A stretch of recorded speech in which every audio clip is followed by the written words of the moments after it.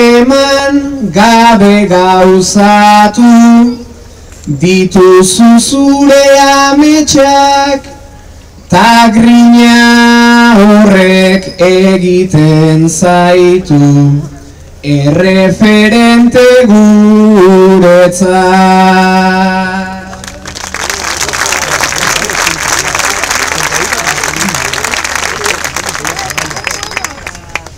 Askatasuna zenuen amets. Haundiena eta alaren Hogeita zazpi urte igaro. Argirik ikusi gabe Zapalduta nahi zituzten aiek izateko buru jabe, ta hemen ere apartheidaren, ego Afrikaren pare, Euskal Herrian oraindik ere, Mandela gehiegi daude.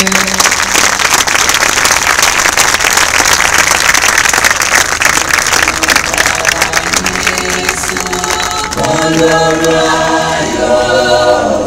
itwa imitandazo yetu Nkosi sikelela thina lusapho lwayo Murena kuluka sitshaba instead into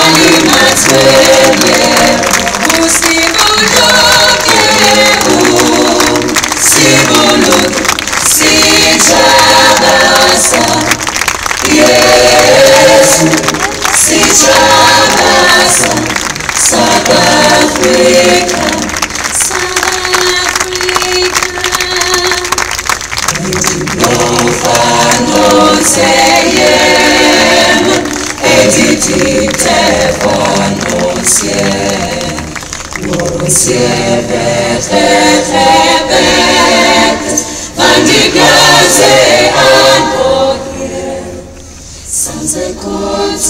come together, and united we shall.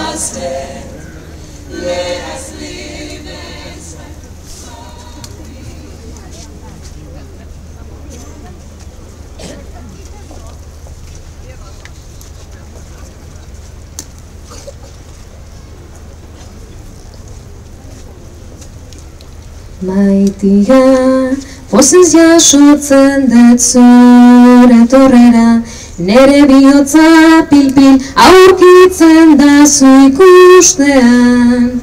Zorion txu eta maiteki, dantzatuko deta burri goxo eta beruena maitia. Pozez jasotzen dut zure torrera, nere bihotza pilpil aurkitzen da zu ikustean.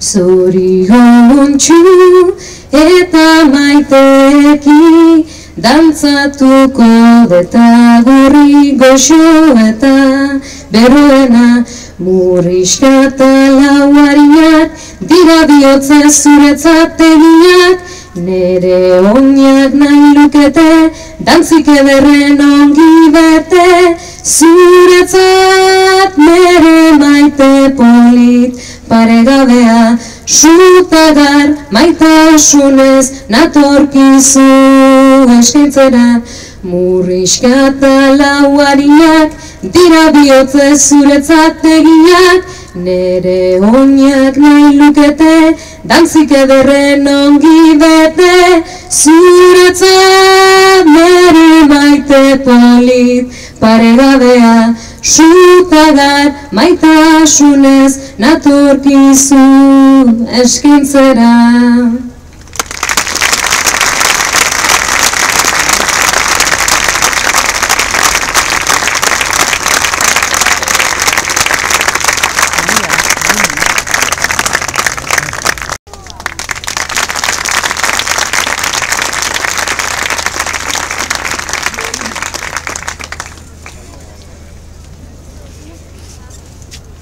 Agur eta ore, Madiba.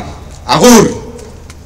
Gaurko ekitaldi xume hau egiteko Nelson Mandela handiak bere fundazioaren bitartez eta Ego Afrikako gobernua eta NFek ezkera bertzalaren gatik eta batez ere Euskal Herriko gatazka politikoa konpontzeko prozesuaren gatik egindako guztia eskertzea arrazoi nahikoa izango litzateke. Eta horretan, ANC eta Ego Afrikako alderdi komunista aspalditik bidelagun ditugula, esatea ezkera bertzaren zat, ohore handia da oso. Baina gaurkoan, hil zenetik, bi egun besterik igaro ez ditunean, Maldibaren figura eta ibilbidea gogora ekarri nahi ditugu. Eta ez da bakarrik guregatik, Euskal Herriaren gatik, egindakoa, egindakoaren gatik izango. Baizik eta Nelson Mandela pertsona osoak mundu honetan utzitako ondare osoaren gatik. Nelson Mandela nire atzean dauen itxasoa bezalakoa da. Zabal zabala eta sakon sakona.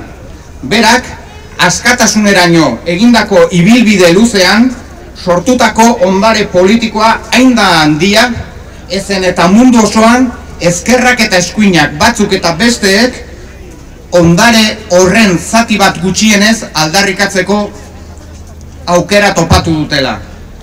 Hala, Barack Obama ere, hiletara joan gomen da, duela bost urte arte, ANC terroristen zerrenda beltzean izan arren. Eta Rajoik eta Holandek eta guztiek ondo hitz egin dute egun hauetan gure Mandelari buruz. Guztiek topatu dute Madibarengan doairen bat goraipatzeko eta ez gara gu izango horretan arrazoirik kenduko diegunak. Baina sortuk gaur egun Nelson Mandela pertsona osoa, irautzaile integrala omendu nahi du. Bere figuraren eta ibilbidearen zatirik ezkutatu gabe. Horregatik, lehenengoz eta behin pertsonak eta batez ere egoerarik okerrenak pairatu dituzten pertsonak bere pentsamendu eta jardueraren ardatz nagusia izan zirela gogoratu nahi dugu. Bere azken egunetara arte ere. Non bere fundazioaren bitartez mundu osoan lan nekaizina egin duen Afrikan eta mundu osoan bizi baldintzarik okerrenak dauzkaten herritarren bizimudua hobetzeko eta iesaren eriotz mehatxupean bizi direnak salbatzeko. Eta jendearekiko konpromiso hori, injustiziaren aurkako konpromiso hori, gazte-gaztetan Nelson Mandela konpromiso politiko ora eraman zuten. Hala hasi zen apartheiden aurkako mobilizazioetan parte hartzen. Hala hasi zen ANZ-ren batzarretako kide izaten. Eta hala ere erabaki zuen Ego Afrikako beltzen eskubiden defentsan borroka armatuari ekitea. Bai, sarri askotan eskutatzen da, baina bake Nobel saria jaso zuen gizonak, unkonto bezize MK delako erakunde armatua sortu eta zuzendu zuen. Bere herriarekiko konpromisoak munduko toki askotan beste jende bat bezala espetxera eraman zuen hogeita zazpi urteko espetxealdi luze eta gogorra jasanaraziz. 27 años de, cautivero, de cautiverio en condiciones muy duras por el compromiso que tenía con su pueblo. Entonces, no solo para el gobierno segregacionista de Johannesburgo, sino también para casi todas las democracias occidentales, Mandela no era más que un terrorista preso. Para cuando abandonó el penal de Robben Island, sin embargo, Mandela ya tenía toda la fuerza de un mito. Un mito, un mito que nunca se arrepintió de ninguna parte de su trayectoria militante. Si Nelson Mandela hubiera sido vasco y le hubiera tocado estar en una cárcel española, sin lugar a dudas, habría salido estos días de la cárcel, con la derogación de la doctrina Parot, pero nunca antes. Armak hartu zituen gizon berak berak ere lideratu zuen Ego Afrikako berradizkidetze nazionala. Ezin ahaztu zati hori ere. Bakean eta normalizazio demokratikoan Ego Afrikar guztiak garaie egiten jakin izan zuen lider handia izan zen Nelson Mandela. Berak, erakutsi zigun, zailtasunak erraldoiak izan arren, gatazkarik gogorrenak ere, desarmatu eta, el, eta elkarrizketaren maira bideratu daitezkela. Madibak munduari erakutsi zion, beltzei beraien eskubideak itzultzea zezik, zuriei beraien privilegioak kentzea ere, guzti guztiak, egoafrikar guztiak askatzea zela. Eta guk ere, Madibaren askatasun ibilbide luzea egin nahi dugu, Euskal Herrian ere.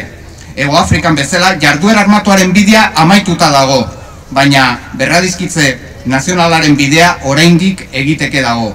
Bakea eta egiazko elkarbizitza demokratikoa non proiektu politiko guztiak baldintza berdintasunean eztabaidagarriak eta gauzagarriak izango diren oraindik lortzeke daude.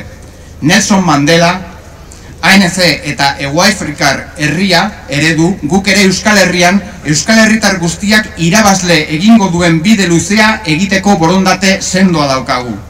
Horregatik, borrokan jarraitu behar dugu, inoiz etxi gabe, askatasun ibilbidea eginez gure herria eta gure burua etengabe askatuz. Denbora eta espazioan distantziak hain handiak direnean, sor daitezken paralelismo guztiak faltsuak dira.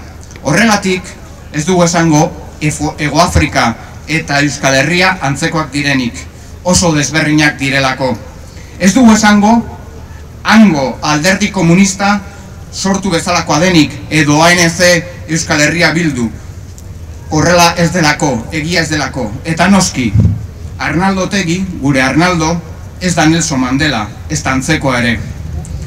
No, por nuestra parte sería una absoluta, total falta de humildad el comparar Euskal Herria con Sudáfrica, el decir que Euskal Herria Bildu es la NC de allí o que Sortu es el Partido Comunista de Sudáfrica de aquí. Y por supuesto, Arnaldo Otegui no es Nelson Mandela, pero no podemos evitar expresar que en el imaginario colectivo de mucha gente en Euskal Herria subyace un sueño, el sueño de que aquí como allí, el hombre que ahora está en prisión algún día se pueda convertir en el Endacari de la Euskal Herria independiente.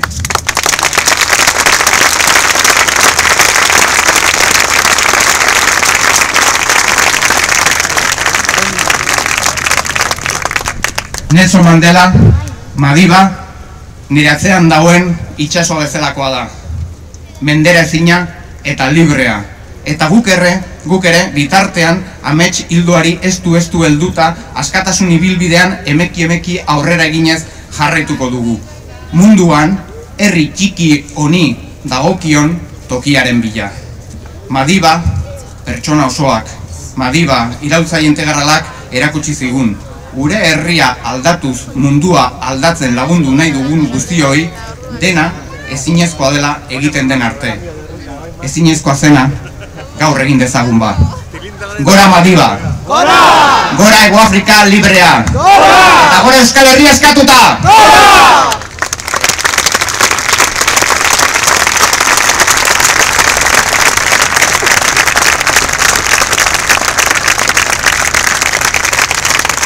Badakizue, Ego Afrikarrekta dolumina eta kanta eta dantza ustartzen maizu direla, nien naiz ere dantzatzen hasiko, zorionez guztiuntzako, baina bai abesten, Eusko Gudariak abestuko dugu ekitaldi xume honi amaiera emateko.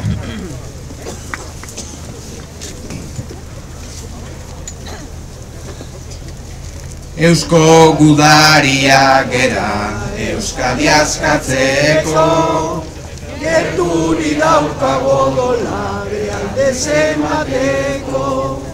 Eusko Udaria gara Euskadi askatzeko Gerturi daukago dolare alde zemateko Ritzi bat entzun da Ikorea Zen Udari ganak ikurriñan atzean Rintxi bat entzun da, nire gorrean, zen udari ganak ikurriñan atzean.